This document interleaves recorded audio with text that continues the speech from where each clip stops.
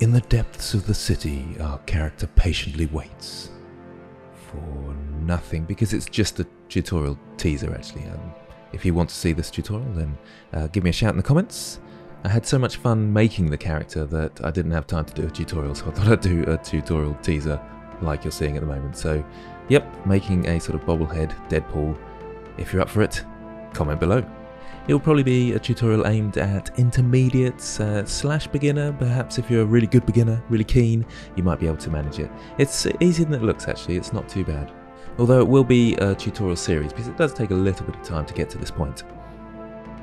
And remember to check out the links in the description for my full character course, which takes you from nothing to an amazingly brilliant, absolutely stupendous, game ready character with very much a sort of beginner focus to it.